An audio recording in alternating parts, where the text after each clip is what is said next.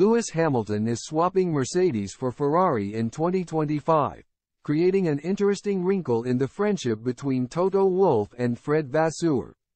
Fred Vasseur has brushed off concerns that stealing Lewis Hamilton from Mercedes has affected his relationship with Toto Wolff.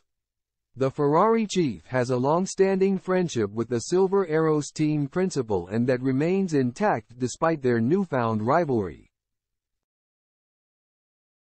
While Wolff and Vasseur have shared the F1 paddock for over a decade, the past 12 months represent the first time they have gone head-to-head -head as direct rivals.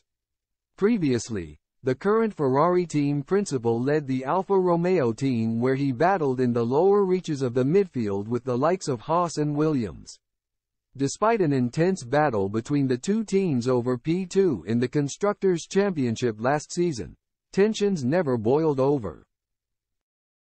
However, a new wrinkle has formed in the relationship after Vasseur managed to poach seven-time world champion Hamilton from under Wolff's nose at the start of February. Discussing the state of his relationship with Wolff in a conversation with La Repubblica, Vasseur said, No, it's still okay. When I came to F1 10 years ago, we knew that at some point we could be competitors on some issues and it would be a problem for the personal relationship.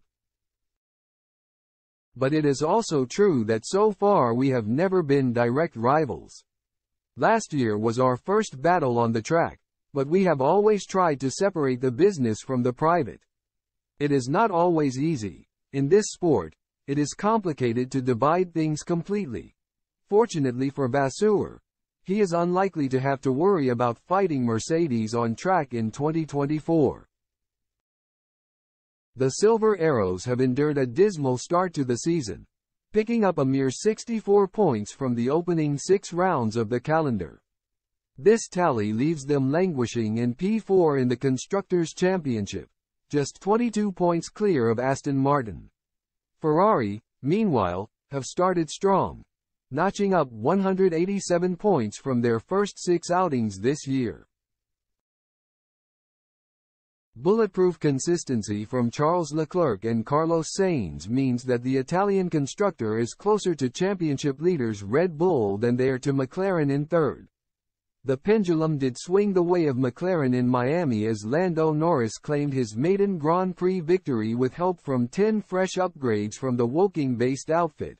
But Vasseur's organization have their own bumper package arriving in time for the race in Imola on Sunday.